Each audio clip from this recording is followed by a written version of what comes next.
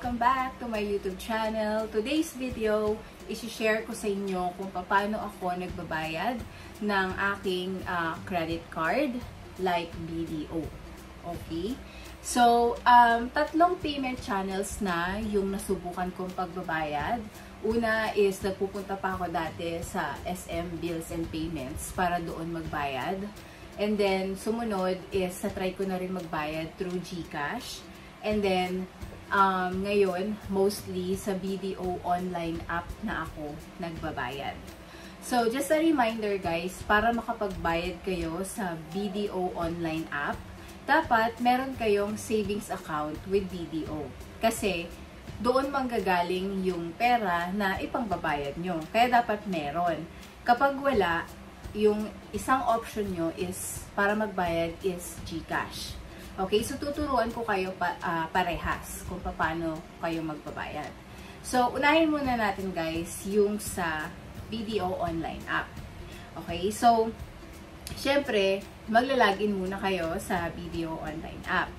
And then, ipa-flash ko na lang dito sa screen yung screenshot kung anong page yung mga pipiliin nyo, no? Kung ano yung uh, options. So, una-una syempre, login muna kayo sa BDO online app. And then, pagka-login nyo is dapat pipiliin nyo is yung uh, pay. So, makikita nyo yun yan sa bandang baba. Yan yung may circle. Yan ang pipiliin nyo. Pagkapili nyo yan, dadaling kayo sa page na may option na pay bills at saka buy load. So, syempre, ang pipiliin nyo yung pay bills. Pagkapili nyo ng pay bills, um, lalabas dyan yung mga billers at merong search bar sa taas. So, i-search nyo lang dyan. For example, magbabayad kayo ng BDO credit card nyo, i-type nyo lang sa taas BDO credit card. Or B, kahit BDO lang. And then, lalabas na yan yung option. So, syempre, mostly naman sa atin, uh, yung mga credit cards na binigay sa atin is in peso. So, ang pipiliin nyo dyan is yung BDO credit card peso payment. Yan. So, after nyo i-select yan, um, nandun na kayo sa page kung saan uh, kailangan na yung information. So, syempre, ilalagay nyo dyan sa card number, yan yung 16 digits na numbers na nasa harapan ng credit card nyo. Make sure na tama.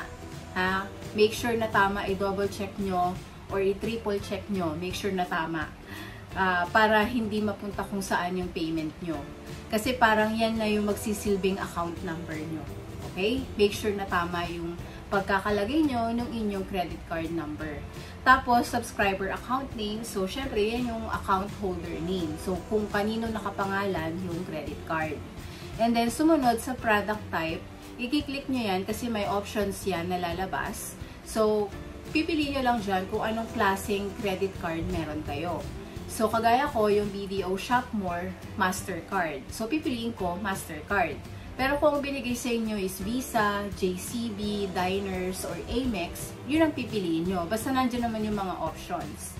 So, basta may Mastercard na logo, Mastercard kukunin nyo. Kapag may Visa, Visa. So, basta nasa, nakikita na naman sa logo yan ng card ninyo. And then, sumunod is yung amount. Siyempre, itatype nyo dyan kung magkano yung uh, due na babayaran nyo sa credit card nyo. And then, makikita nyo dyan sa pinakababa is yung pay from. So, yan yung sinasabi ko sa inyo na dapat meron kayong savings account. Kasi kung wala, paano kayo makakapagbayad? Kay BDO online app, di ba?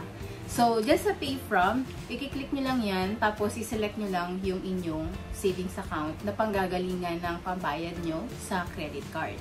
So, after nyo na ma-fill out yan, i-click nyo lang yung pay.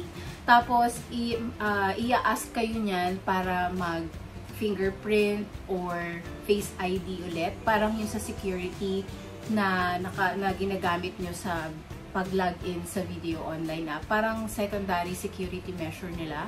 And then, after nun, magpo-process na yung payment. And, makikita, actually makikita nyo yan kung uh, yung notification do sa upper right uh, corner, meron yung parang bell. You can click on that, tapos makikita nyo kung nag-successful ba yung payment or hindi. So, ganun lang.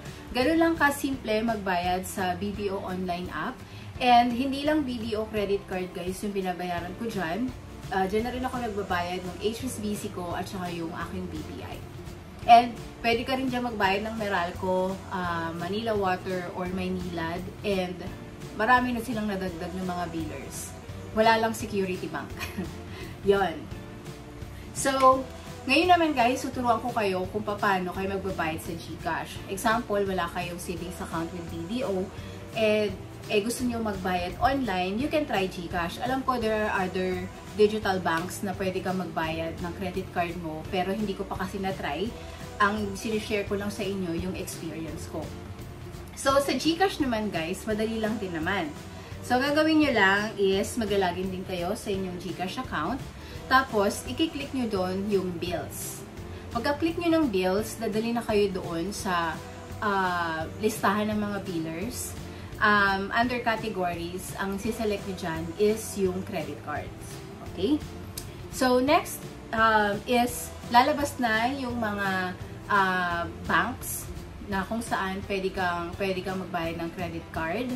Um, nandyan lahat So, kung BDO yung credit card mo na babayaran, ang isa-select mo dyan is yung BDO MC. Yung MC, ibig sabihin yan is MasterCard. Tapos, may Visa, JCB, and Union Pay.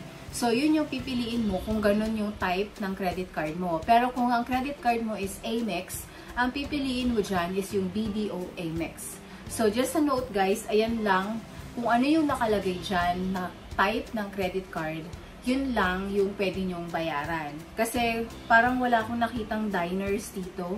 So, kung diners yung card nyo, uh, hindi ko alam kung pwede, parang hindi. So, basta kung ano lang yung nandito na card type, yun lang yung tatanggapin na payment ni GCash. So, halimbawa, nag-select nyo na yung BDO, MC, Visa, kasi kung MasterCard or Visa naman yung card nyo, no? Pag na-select nyo na yan, nandun na kayo sa uh, page kung saan maglalagay na kayo ng information or ng details. So, syempre, yung amount, ilalagay mo dyan kung magkano yung amount ng babayaran nyo with uh, BDO credit card. Tapos, sa card number, of course, yung credit card number ulit, yan yung 16 digits na cards na nasa harap ng credit card mo. Make sure talaga na tama, na super match.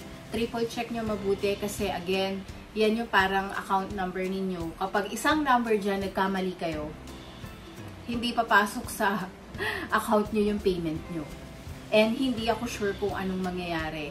So, magiging hassle na naman sa inyo kasi tatawag na naman kayo sa BDO hotline which is minsan ang hirap makakuha ng representative. So, make sure na i-double check or triple check nyo. Tapos, yung email naman is optional kahit hindi nyo nalagyan yan. Tapos, i-click nyo lang yung next.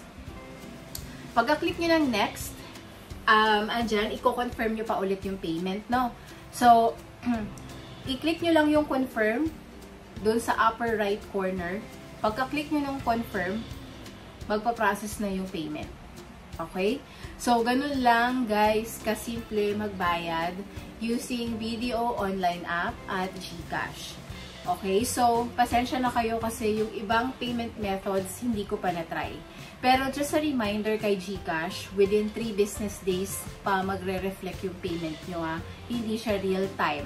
Kay video online app, mas maganda magbayad kasi ako na-try ko na magbayad ng same day ng due date ko na umaga ako nagbayad um, hindi ako na-charge ng late payment fee.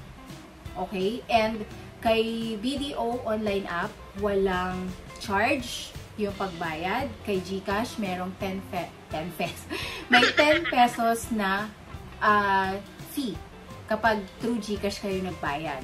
And again, 3 business days pa yung clearance ng payment. And kung kay GCash kayo magbabayad, make sure na uh, at least 5 days before your due date ang kayo magbayad para may time para ba mag-clear yung payment nyo. Kasi I'm afraid baka kapag mismong araw ng due date kayo nagbayad kay GCash, baka ma-charge kayo ng late payment fee ni BDO kasi hindi pa uh, papasok yung payment nyo doon sa inyong account. Okay? So, yun lang naman ang reminder ko. So, that's all guys and I hope na makatulong to kasi may nag-request na gumawa daw ako ng video uh, kung paano magbayad ng credit card. And again guys, hindi lang BDO credit card yung pwede nyong bayaran with BDO online app and GCash. ba Nakita niyo naman maraming mga banks na nando doon. So, same lang naman ang process na tinuro ko sa inyo. Okay? So, maraming salamat sa panonood ng video guys and sana wag niyo akong iwanan. Um, uh, samahan niyo ako lagi sa bawat videos na i-upload ko. And request lang kayo kung ano pa yung gusto nyong um, i-share ko sa inyo about credit cards uh, based on my experience. And kung hindi ka pa nakasubscribe, please subscribe to my channel and click the notification bell para ma-notify ka kapag meron akong bagong upload na video. And pwedeng i-like mo na rin and i-share mo na rin yung video. so, thank you again and see you on my next. Bye! What a wonderful